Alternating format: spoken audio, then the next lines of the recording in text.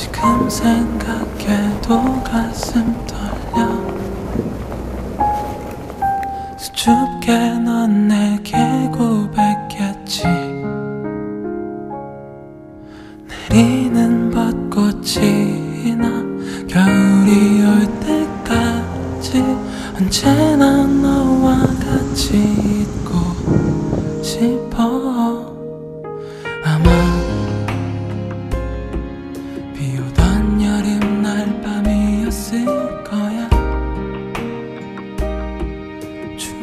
술이 파랗게 지